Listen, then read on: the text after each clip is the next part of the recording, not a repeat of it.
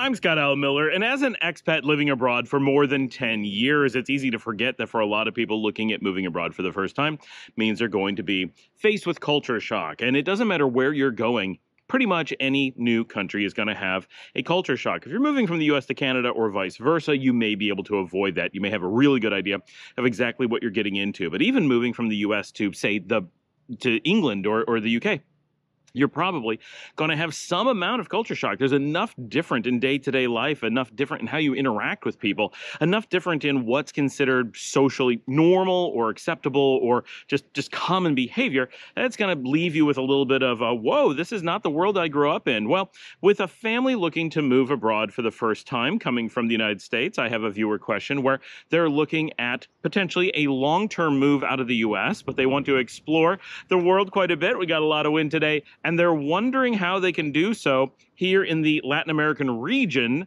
uh, while minimizing culture shock on their initial move because it's going to be their first time moving abroad and they have uh, middle school children. So I want to talk about just in general minimizing culture shock and look into their specific situation right after the bump.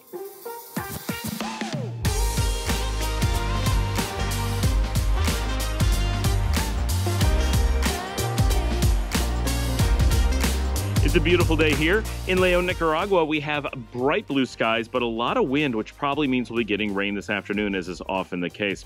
For a lot of you looking to move abroad, one of the things that I want to talk about is how do you minimize culture shock? But I want to get to that in just a little bit. Let's talk about culture shock itself, because this comes in a number of different forms. There can be culture shock simply from being in a new country. I was lucky. I grew up on the US Canadian border, and crossing into a new country was a very routine thing. So the idea of, and this sounds funny, but switching from miles per hour to kilometers per hour, from U.S. currency to Canadian currency, uh, from from Celsius, from Fahrenheit to Celsius, and so forth. All those little things uh, were very common. And there's little things you would never think about until you actually move somewhere and realizing that, for example, every sign's font changes and you can often recognize what part of the world you're in based on the way that they write their signs even if you aren't familiar with the language that you're seeing you can you can look at the way that it's written and say oh this this is stylistically very Canada compared to the US America likes harsher fonts. Canada really likes more rounded sans serif fonts. That's a funny thing but even the grocery stores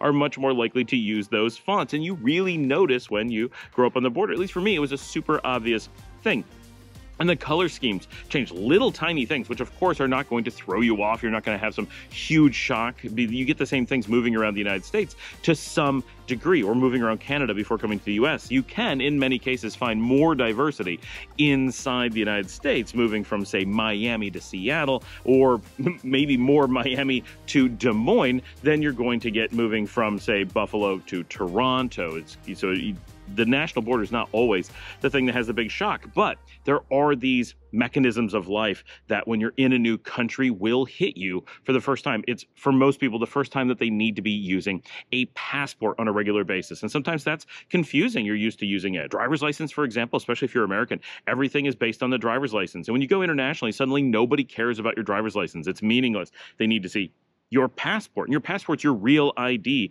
as an American or, or from anywhere. But in the United States, we don't typically use passports on a day to day basis. People use state level ID cards. And now we have this real ID system, which makes it even less that you would pull out a passport. But if you have a passport, that's your master ID. That's your real national level ID. And most countries, that's the only thing that they will accept or care about in any fashion. So little things like that can be a big shock getting abroad you've got uh, how money works right? If you if you've always lived in one country uh, the idea that currency means one thing that's based on uh, common usage factors in that country may be very different than how it works on the world stage. This is a, a great learning opportunity. People tend to be very confused about currency and living in different countries and using different currencies on a regular basis really does help to highlight uh, how little the things that people often assume are tied to currency actually are. When people say things like oh but you made so much money, you were paid in dollars. That indicates they don't understand how currency works. What you're paid in is 100% irrelevant from a how much you earn perspective. It, it is relevant to how easy it is to, to use in different, like you may need to, to transfer it into something that's more usable. If you're paid in British pounds, but you want to buy things in America in dollars, well, then transferring your pounds to dollars is a thing. But whether you're paid in pounds or dollars changes literally nothing. It is a 100% myth, yet everybody says it and sometimes even people who work in multiple currencies they they don't always grasp it but traveling around the world and working you know in this region in cordobas and quetzales and pesos and dollars and, and canadian dollars and belizean dollars it becomes very evident very quickly that the misconceptions that most people have about currency are really deep misconceptions and that it means none of those things. So little things like that, many little things like that will come together to form a general shock of just becoming an international person, right? Moving abroad, working in multiple countries, whether it's work, work, or just living in multiple countries, you're going to experience some shock of becoming a multinational person. But none of that is actually shock of the place you're moving to. It's just the shock of no longer being isolated or insulated within a single ecosystem. And, and everyone in the world experiences this. Of course, if you live in, say, Europe, for example, it, the borders are so easy to cross and so nearby that, that it's minimized to quite a strong degree. Whereas, for example, the United States and Canada are so incredibly insular to each other for geographic reasons mostly, uh, that when you travel abroad from those countries, the shock tends to be dramatic other than being between the US and Canada, basically anywhere you're going to travel from them, you're going to have the shock of being in a new geographic region, you're going to be in a new language. All the things are going to change, not just some of them. Now, a quick anecdote from my own family. We've moved around a lot, and the first time that we spent real time away with our children, my wife and I were able to travel, uh, and we always we went to Canada a lot when we were younger. Uh, we traveled all over the United States. I worked all over the United States and Canada, uh, and when we first went abroad, abroad, it was to the UK, uh, which is generally seen as uh, the minimized culture shock and way to kind of uh, introduce yourself to the world. That's not why we went there. It just happens to be the place we went first because of my job. but that that made it really easy to move into the idea of living abroad. And I, I appreciate that we did that. And I don't want to gloss over the fact that that is what happened to us. When I then went further abroad, I went to the Netherlands and Germany as my next places. And those are places that, while they are very different than the US in, in countless ways, they also are very easy for the most part, especially for English speakers to move into. German is very easy to read. Uh, the culture is not that wildly different. It's more of a, a heavy tweaking of American American culture, or really vice versa. Uh, compared to being a totally different culture. And the Netherlands is so much closer to the UK and America culture than than German culture is, and they speak English nearly everywhere. You can just do everything in English, in, in crystal clear English, really easily. Uh, Germany, you almost can, but in the Netherlands, you totally can. And this is 20 years ago. So uh, those are very ease into them travel places. So I 100%. We had a very non culture shock introduction to international travel over a long period of time. I, I realized this, and it, it did make, uh, to some degree, our journey easier. However, when we went to those places, we really went to those places. We didn't go for tourist zones, we didn't do tourist things. We did a lot of things where we were getting into the culture and creating more culture shock than a tourist to those places or to many places would often encounter.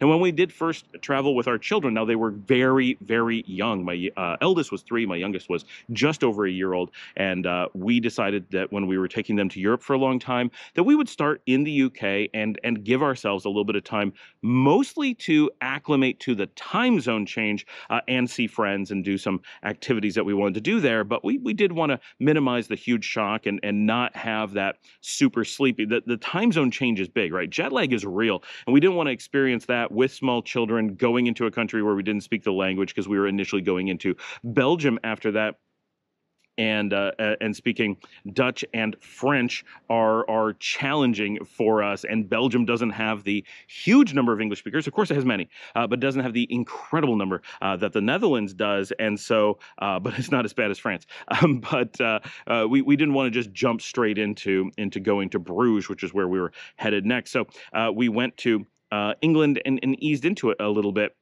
and so that has been our experience. We did do those things, and I, I completely appreciate why uh, there is a concern about hitting culture shock when you go abroad.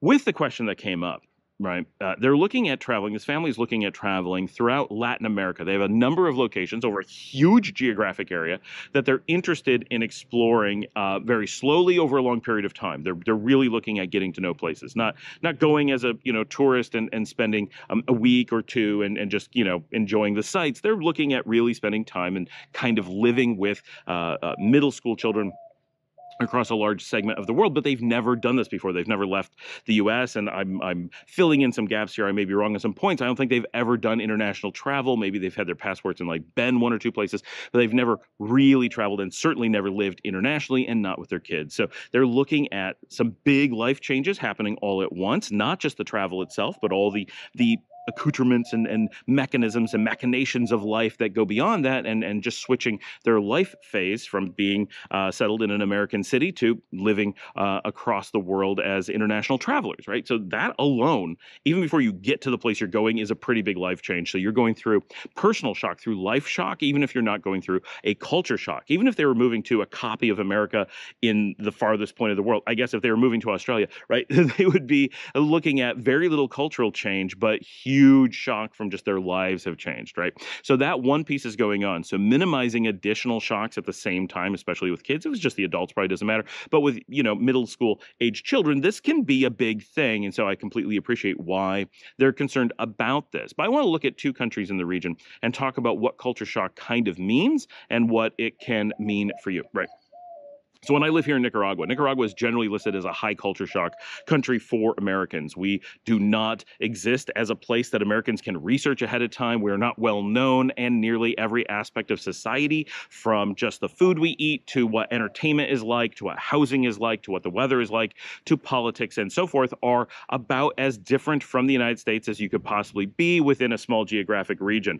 You might as well be moving to Asia or Africa. Like the world is so incredible incredibly different here. So culturally, this is an extreme zone. Now, the language is Spanish here. So to most Americans, Spanish is at least not seen as super exotic. You may not know Spanish, but it's easy to read, it's easy to hear, and you've probably been exposed to it a bit, especially in places like Colorado that traditionally, or South, right? Colorado and, and Arizona and New Mexico and Texas and California, all places that were Mexico not that long ago. Most of them were Mexico more recently than Nicaragua was Mexico, right? So it's funny that so much of the western United States is like, oh, Nicaragua, isn't that like southern Mexico? And Nicaragua's like, no, you do realize you were Mexico way more than us, right? Nicaragua sees that zone of the US as old Mexico. So it's a funny that each see it the other way, but Nicaragua was free from New Spain and free from Mexico uh, uh, several years, about 15 years before like Texas was, right? So uh, it, it, really is, um, and, and, all that's within recent history, right? So the 15 years is pretty significant. Uh, so when you're coming to Nicaragua, other than the language, uh, the, the, culture shock is typically pretty high. Just everything is is very different, and we have all that different currency, uh, kilometers Celsius, and and all that kind of stuff. Although people do use pounds from time to time in addition to kilograms. That one's weird.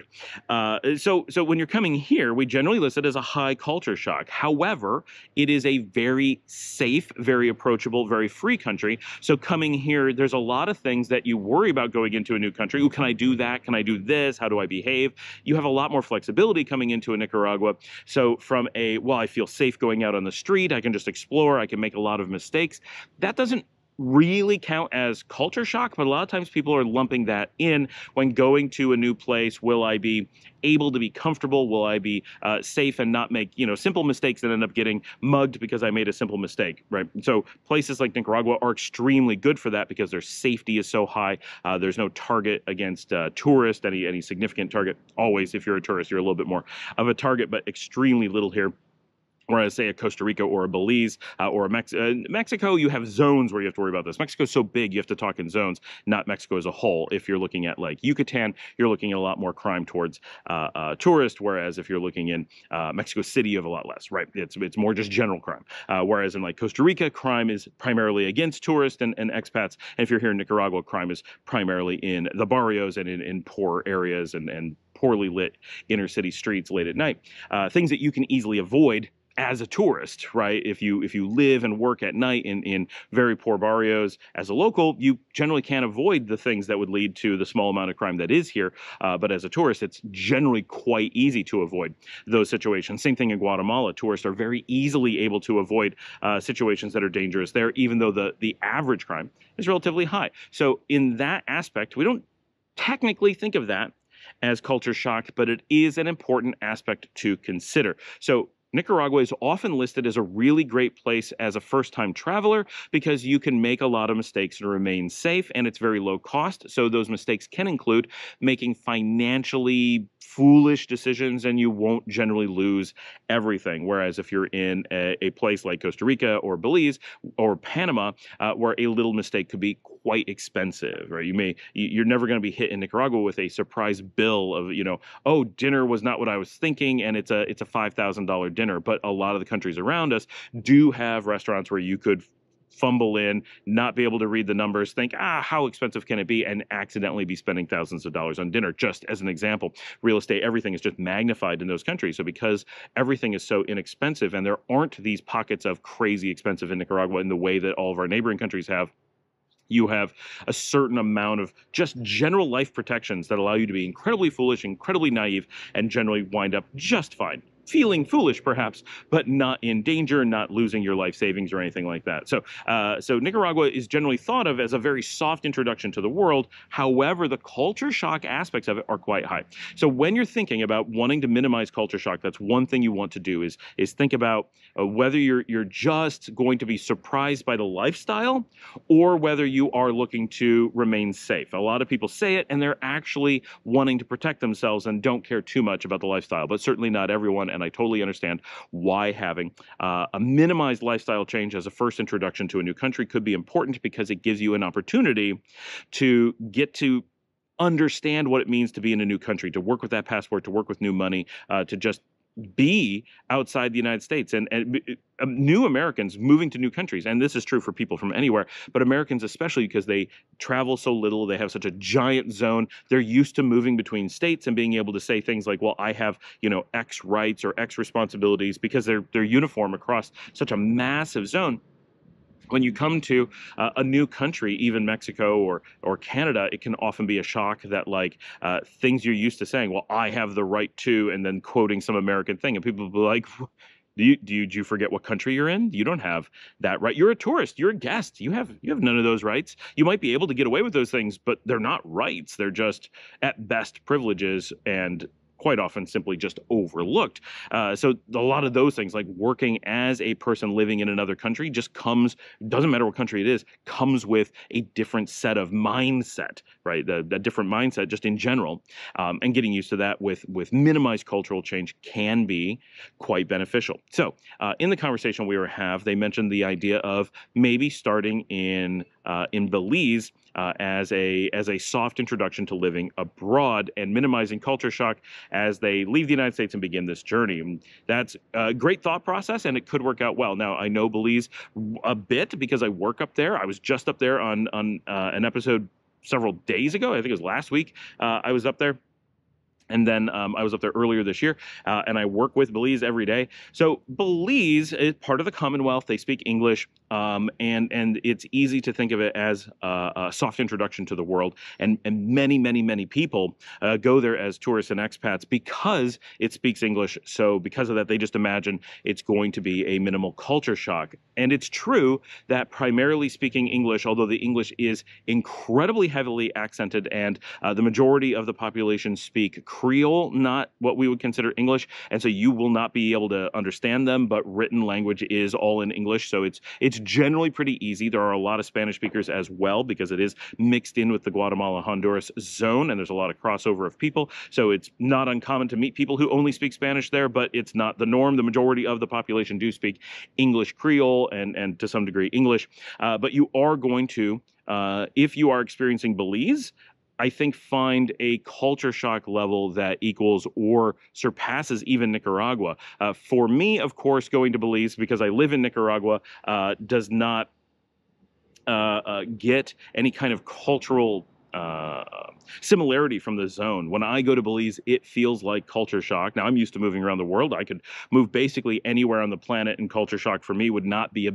problem or thing that I would really think about. Um, I definitely find those things to just be interesting and exciting, not a, ooh, boy, this is so different. What do I do? Uh, so, but I've moved around a lot. I've been to a lot of countries and spent a lot of my life living in different places all the time. Uh, so my my view of it may be a little bit different, but I think that in general, uh, Belize is going to be a pretty hefty culture shock if you go into Belize proper. Now, they're talking about going to San Pedro or that area out on one of the islands. Now, this is really important to understand is that generally for those of us who live abroad, and we'll use Nicaragua just as an example, uh, and, and Nicaragua isn't even on their necessary list of places that they're going to go. It's just, you know, we talk about uh, becoming an expat and relocation in, in, Latin America here quite a bit. So uh, we have a lot of resources for uh, what they're doing. And when you're looking at Nicaragua as an example, we generally talk about the two Nicaraguas. There's Nicaragua that Nicaraguans refer to, and then there are the expat enclaves like San Juan del Sur, Rancho Santana, uh, Gran Pacifica, and so forth, where you can come and technically be under Nicaraguan jurisdiction, be under Nicaraguan law, have Nicaraguan climate and weather, uh, but live in an area that only speaks English, only be around expats, and be super isolated. That's a very common thing. Many people coming to Nicaragua, that is all they're thinking of. And they actually have no idea about the country. They may not know how the currency works. They don't know what the culture is. They don't know what the local food is in many cases. They only know their little isolated areas. And it's weird for those of us who live in Nicaragua to talk to people who may have been there for 10, 20 years and then realize that they don't have even passing knowledge of the country itself. And to be fair, I have barely passing knowledge of the enclave. So it goes both ways. But to them, that is Nicaragua, this, this enclave with culture that is nothing like Nicaragua. It's just a copy, of Canadian, but to some degree of American culture in this little area. All your neighbors come from the same places that you did. Maybe it's a mix, right? You'll have some people from New York, some from Texas, some from Oregon, some from uh, Alberta, some from from uh, Nova Scotia, right? So you get that kind of uh, you know international sort of blend, but it's a really tight cultural zone, typically all mashed together in a little tiny community with big walls and everything's managed for you. And if you're going to go to Belize, you either you're going to have the exact same thing as Nicaragua. Either you're going to go into Belize that's real, right? Belize City, Belmopan, uh, Orange Walk, right? And live with Belizeans and experience Belizean culture, do everything in Belizean money, deal with all the the life that goes on in Belize, or you're going to be out on the Cayes and be in an enclave, uh, generally a gated community, generally something where everything's managed for you. And technically, yes, you're under a new jurisdiction, you're in a new country, but technically that country is part of the Commonwealth, so you're under the king. That's the same as being in Canada, right? They're all still I mean, the Commonwealth is, for all intents and purposes, they're colonies of the UK that have agreed not to be called colonies anymore, but they still have the king. They're still ruled by the UK. Uh, whether, you know, they admit to that or Canada loves to say that that's not going on, but as long as the king is your king and it's the British king and not your king, we're just semantics trying to say it's anything else. It is full on part of the UK. The Commonwealth is just the reference to its global empire. And so when you are um, and, and this never more more uh, noticeable than the UK just initi- initiated visas, so Canadians have to have a digital visa. They're trying to claim it's not a visa, but it is in every possible sense a digital visa. Canadians and Americans now require a digital visa to visit the King of England. Now, for Americans, it's completely a separate country because they're not under the, the Commonwealth. But for Canadians, which are a member of the Commonwealth, their head of state sits in London and they have to have a tourist visa approved to be allowed to go there to see their own government. If anything has ever made it clear that the UK thinks of Canada as a colony, this is it. Canadians can say they're not, but the rest of the world 100% has no idea anyone would consider them anything but a colony. This is a shocking amount. This goes into effect January 1st. We're going to do an episode for all the Americans, Canadians to understand what the requirements are for traveling to the UK because we're used to being able to go at the drop of a hat. Now you have to have three days approval on a digital visa. Wow, which is not a big deal, uh, but it is annoying if you're a last minute traveler, but you can get it approved ahead of time and it is good for a good period of time. We're going to cover that later. So if you're going to Belize, though, I want to really highlight this that when you're going to expat enclaves, this could be Panama, Costa Rica, even here in Nicaragua, up in Belize, eh, basically anywhere in the world, if that's in a, you know, now if you're going to Spain, chances are it's going to be a British enclave. So it'll be a bit different. But if you're coming anywhere here in the New World, the enclaves are almost completely universally some mix of American and Canadian. Up in Belize, mostly American. Down here in Nicaraguan, mostly Canadian but the differences are minor. Uh, when you go into those enclaves, the culture that you're going to be experiencing there is not going to be exactly the culture that you're used to in the US or Canada. So there is a culture shock. However, it's also not the culture that you're going to experience in Belize proper, in Nicaragua, or around the world. You're experiencing this weird resort living thing that is a uh, subset of American culture just under ju- different jurisdictions. And so from this, I think that it's uh, uh, necessary to, to kind of contextualize what kind of culture shock and learning and experience you will receive by doing this. Uh, you will ease yourself into the mechanisms of being international but you will unlikely experience culture of being international. You won't have the experience of visiting Belize. Of course, you can exit your enclave and go dabble in Belize and come back, but you have to take a ferry somewhere to do that. It's a lot of money. It's very expensive. Uh, going to outrageously expensive zones that would rival the U.S. in cost. Uh, real estate in Belize is absolutely phenomenally expensive, and uh, uh and experiencing this surrounded only by foreigners. I don't know that this in any way assists in becoming international uh, because you're surrounding yourself with people who are isolating themselves from culture shock. That's really what the enclaves are in in a nutshell. Uh, in some ways, enclaves are kind of nutshells of life. Uh, these are people who sometimes just want luxury. That's fine. But in most cases, these are people who are afraid or or dislike the cultures that are around them and want to be isolated from them. They want their weather, they may want some cost or tax advantages. Lots of reasons why you might want to do it. Maybe they just want to go scuba diving on a regular basis, maybe the view is just fantastic, maybe it's closer to family or whatever. But these are people choosing to be completely apart and isolated from the culture. They're removing the culture shock of everyday life. And if you do that as an introduction to traveling internationally, one, I don't think it's going to fix anything with culture shock. When you then move on to real places, it might actually be worse because you're going to have been introduced to the concept of being international without actually being international. And that might set up a mindset that's just a little bit hard. I'm not saying it's going to cause big problems, but if your goal is to minimize how scary it is to go into, you know, let's say rural Mexico or or you know western Panama or or the mountains of Colombia, then going to an enclave on an island surrounded by only expats in English speaking Belize may give you this sense of, oh, the world's all this uniform thing. And you could bounce between enclaves in every country in the world and have that uniform experience and never experience those countries, never experience culture, never experience anything. You'll spend a fortune, but you'll never get to that moment of having culture shock. There's easing into places where you experience some of the culture shock, but not all of it. And then there's avoiding the culture shock which, if you plan to never experience a new country, then you can avoid culture shock. If that's something you're afraid of, yeah, you can avoid it forever.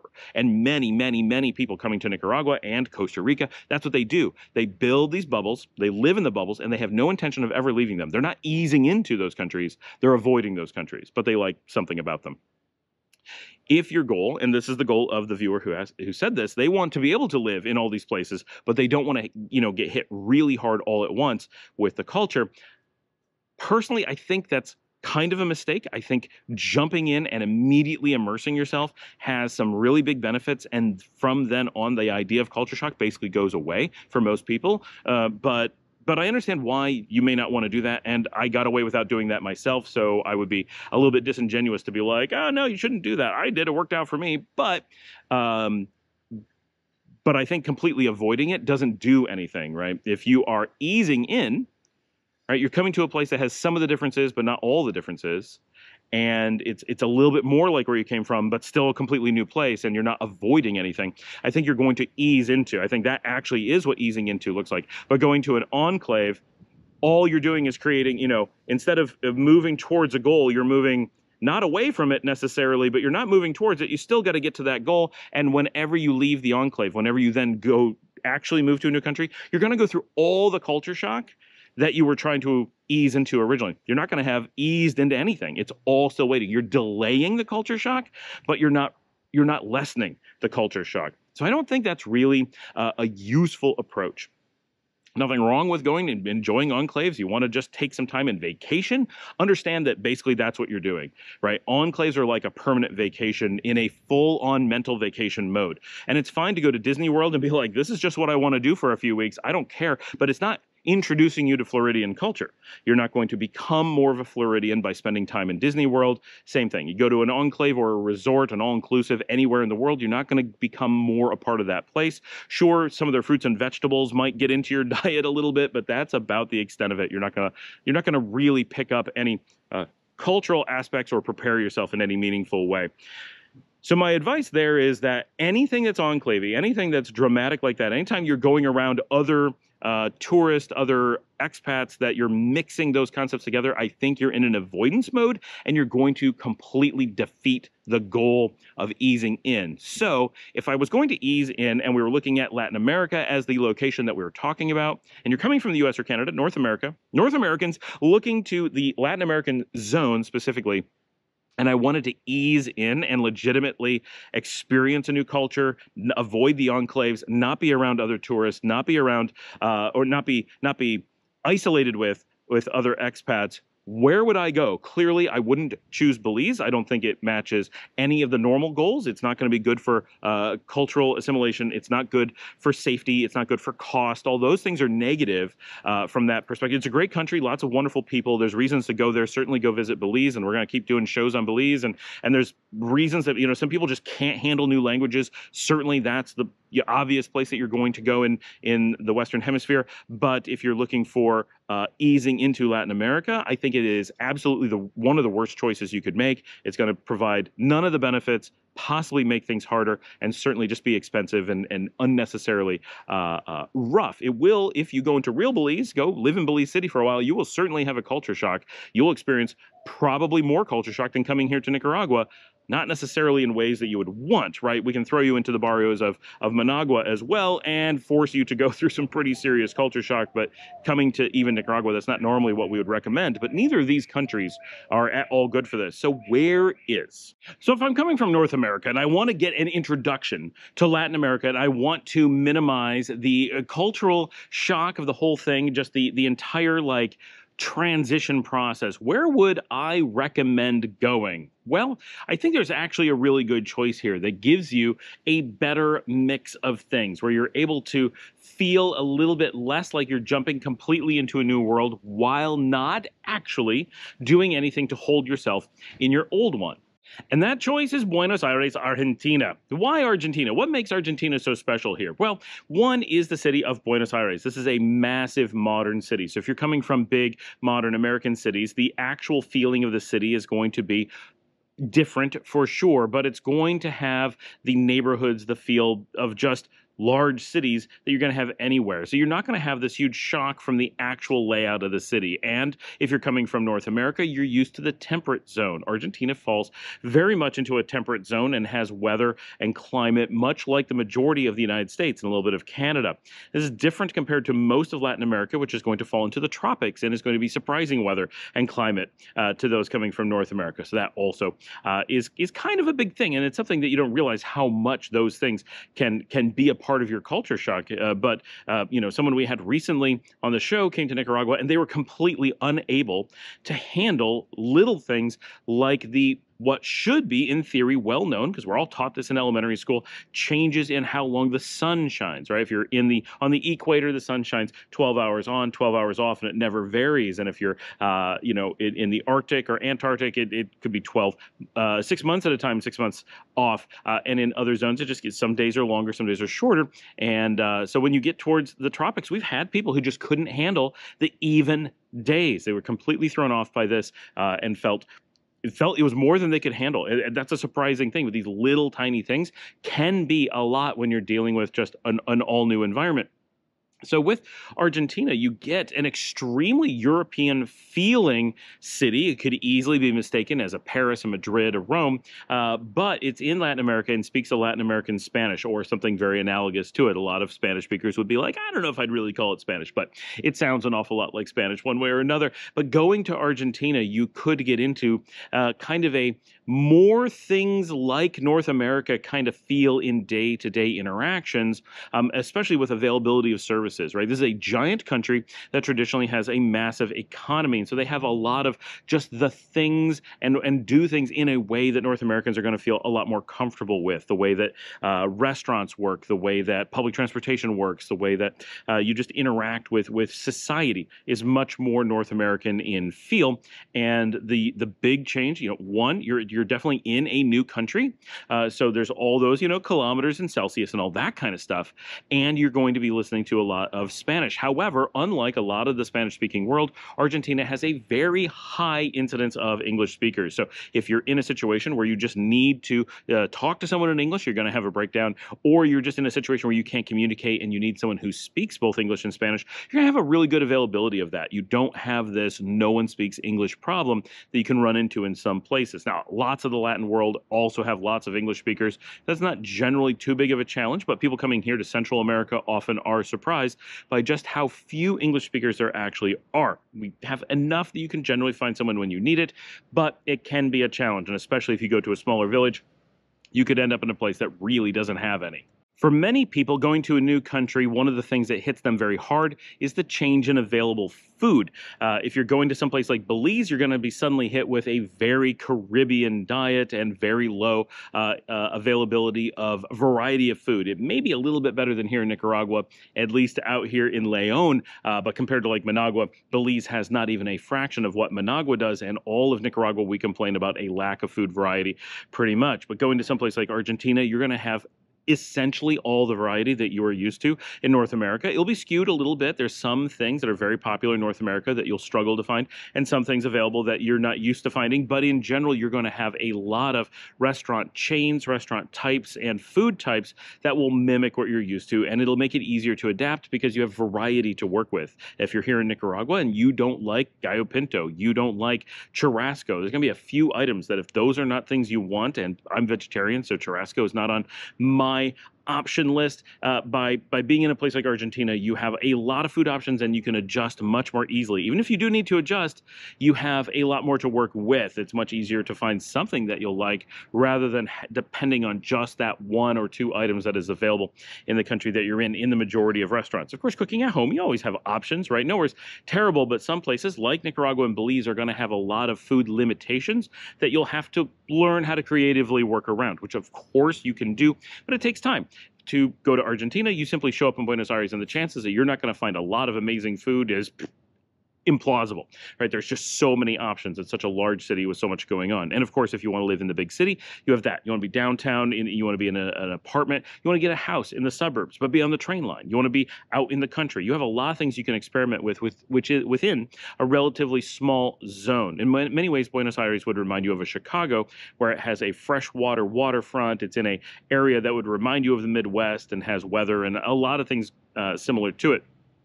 But at a larger scale uh, even than Chicago. So I think Argentina really represents a good option from a culture shock perspective, possibly the best that you're going to find in all of Latin America for people coming from North America.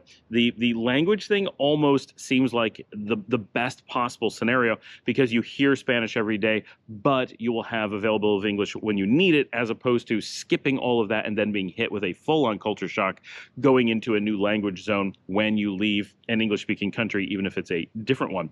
Uh, I also think it's very important, like we said with Nicaragua, Argentina similarly has very low violent crime. It's one of the safest countries in Latin America. Uh, and and um, is very low cost right now, very low cost of living in the past, Argentina has been quite expensive. This actually makes it a a uh, very uh, prescient option that you can get into Argentina and spend time there without spending a ton of money in the past when I was a kid, Argentina was unaffordable. It was super expensive. It was a luxury destination that only those who were really willing to take, you know, cuts at home or really willing to spend a lot were able to leverage. But today it's not the case. It's uh, in a unique position uh, in in time and in the financial world in which you can really take advantage of, of the way that things are in Argentina and live there quite inexpensively. Uh, and that that may not come back in our lifetime. So if you're looking to explore Argentina, of course, this isn't going to disappear in months. It's been going on for years, but they are trying to correct it. And in time, it probably will correct. So you may want to take advantage of that for other reasons as well. Just a good opportunity to get into Argentina while it is exceptionally affordable. And of course, being an expat in Argentina and spending your money there does help in a tiny way. It's a very large country, so you can't make a personal giant impact, but it does help move them towards uh, financial recovery as you are able to feed a small amount uh, of money into their financial system. Overall, I do think that fears of culture shock are a little bit overblown. Most people don't need to worry about it as much as they do. You think that it's going to be really bad, and of course, your first day, it can be, but once you're in a new country for a number of days, generally that stuff starts to go away. Most of us adapt pretty quickly, and kids especially have a tendency to adapt very quickly. If you think about going on vacation and go to a new country, a completely new place, and there is a bit of shock when you do that, that shock of visiting on your, your travels is typically the majority of what you're going to encounter.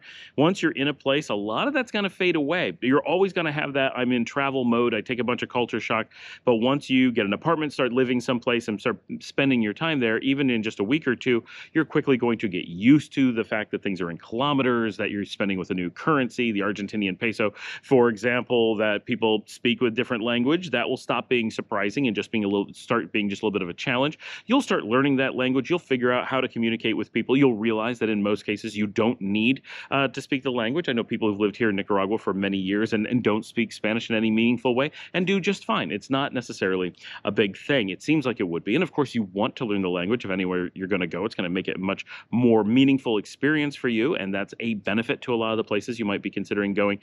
But it's not a requirement and I, I think it feels like so much more of a scary thing or a thing that's going to be a shock or something that's going to be intimidating than it typically really is. But i know until you actually do those things they remain very scary and they can be a big shock. So you do want to consider how a culture shock is going to impact you and your family. Uh, but I think that um, one, going to things like enclaves is counterproductive at best uh, or at worst, and is is neutral and not useful at best. If if for if nothing else, it's just delaying the culture shock you're going to have to go through anyway. Best to pull off the band aid and just get it done.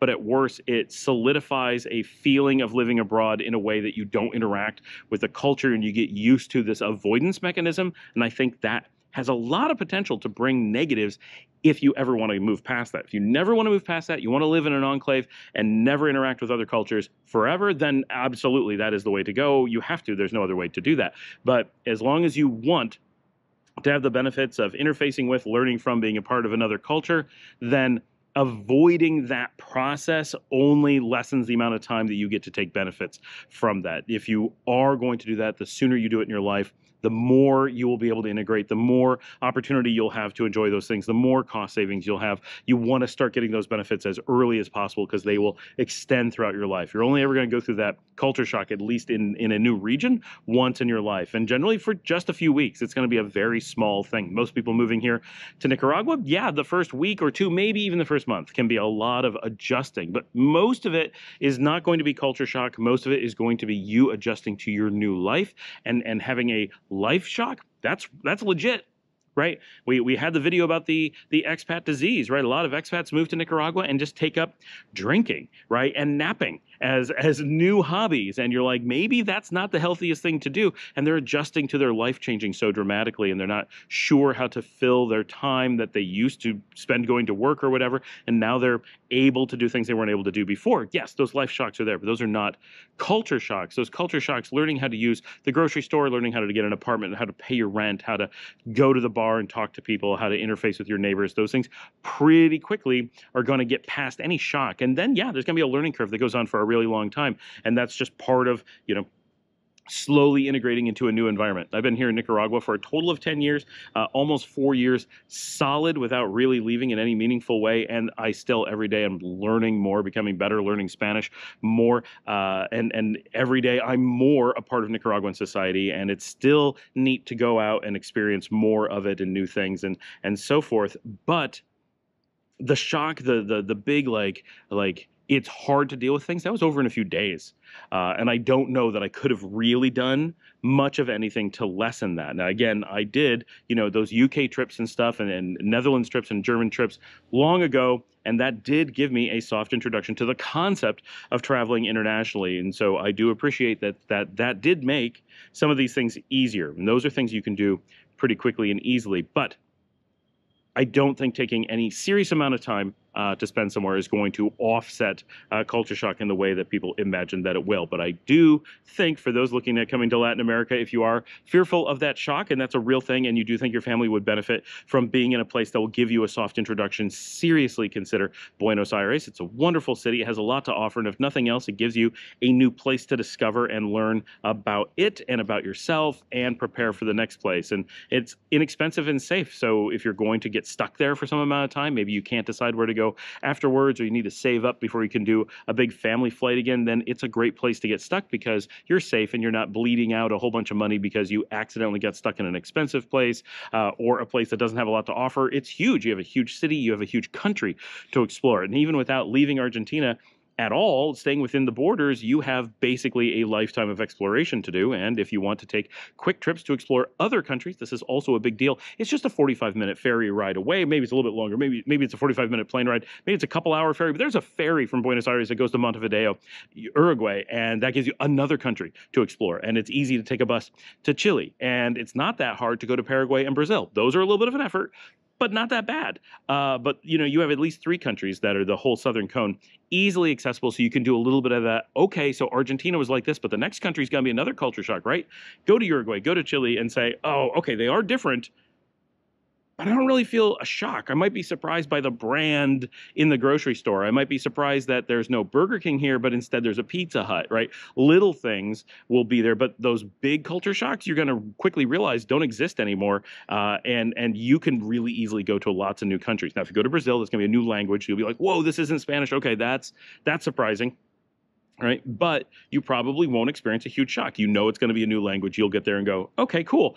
Actually, I can use Portuguese more than I realized because I know a little bit of Spanish now. I'm really comfortable with this. So thanks for joining me. Like and subscribe. If you'd like to help support the channel, you can buy me a coffee at buymeacoffee.com slash Scott Alan Miller. And as always, we have the uh, join button down there if you want to uh, join the channel and have a small monthly uh, contribution to help make all of this possible. I really appreciate all my, my members. And if nothing else, uh, get down in those comments. Say hello, ask questions, send in your video questions. I really appreciate when I get those. Um, and uh, shout out to Mark, who was on the show, I want to say about a month ago. He sent in a video question uh, and we put him on. And then we actually ran into each other at the Doubletree in Managua just a couple days ago. So he and his wife were there. I think they were with their kids, but they, I didn't get to meet their kids. But it's so cool. Getting, we actually saw each other across the bar in Via Fontana, like not a spot I was expecting to run into one of my audience. And uh, I'm like, wait a second, he's really familiar. And he kind of looked at me and I'm like, okay, he definitely recognizes me. It was very funny. Uh, and um, so that was very cool. Uh, always appreciate getting to meet you guys and speak to you and put you on the show. But he had sent in a video, so that's why I mentioned it. Uh, and of course, if you just watch another video, that helps out a lot as well. Thanks for joining me. I will see all of you tomorrow.